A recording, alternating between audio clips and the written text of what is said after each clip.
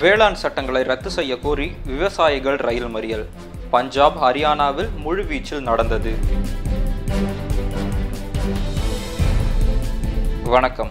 மோகன்குமார் நியூஸிற்கு உங்களை அன்புடன் வரவேற்கிறோம். வேளாண் சட்டங்களை ரத்து செய்ய கோரி நாடு முழுவதும் விவசாயிகள் ரயில் மறியல் போராட்டம் நடத்தினர். பஞ்சாப் ஹரியானாவில் முழுவீச்சில் போராட்டம் நடந்தது.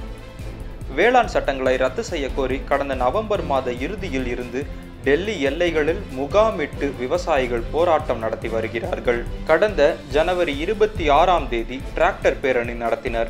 இந்நிலையில் போராட்டத்தை தீவிரப்படுத்துவதற்காக நேற்று நாடு முழுவதும் ரயில் மறியலில் ஈடுபட்டனர். பகல் பன்னிரண்டு மணி முதல் மாலை நான்கு மணி வரை ரயில் மறியல் நடந்தது. பஞ்சாப் மற்றும் ஹரியானாவில் ரயில் மறியல் முழுவீச்சில் நடந்தது. பஞ்சாபில் டெல்லி லுதியானா அமிர்தசர் ரயில் வழித்தடத்தில் பல இடங்களில் போராட்டக்காரர்கள் தண்டவாளத்தில் அமர்ந்து மறியல் செய்தனர்.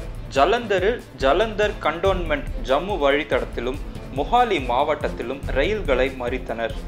பாரதிய கிசான் சங்கம் சார்பில் பஞ்சாபில் இருபத்தி இரண்டு இடங்களில் மறியல் நடந்தது.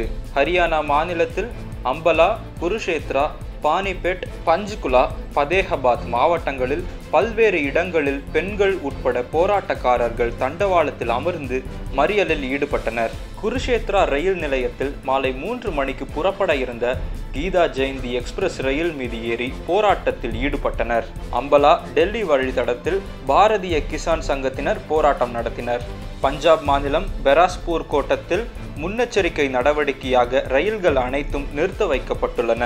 பயணிகள் சிரமத்தை குறைக்கும் வகையில் இந்த நடவடிக்கை எடுக்கப்படுவதாகவும் மாலை நான்கு மணிக்கு போராட்டம் முடிந்த பிறகு ரயில்கள் இயக்கப்படுவதாகவும் அதிகாரிகள் தெரிவித்தனர். பஞ்சாபிலும் ஹரியானாவிலும் ரயில்வே போலீசாருடன் மாநில போலீசாரும் பாதுகாப்பு பணியில் ஈடுபடுத்தப்பட்டனர். டெல்லியில் முன்னெச்சரிக்கை நடவடிக்கையாக நான்கு மெட்ரோ ரயில் நிலையங்களின் நுழைவாயிலில் மற்றும் வெளியேறும் வழிகளை மெட்ரோ ரயில் நிர்வாகம் மூடியது அவற்றில் விவசாயிகள் போராட்ட களத்திற்கு மிக அருகில் உள்ள திக்ரி எல்லை ரயில் நிலையமும் மூடப்பட்டது.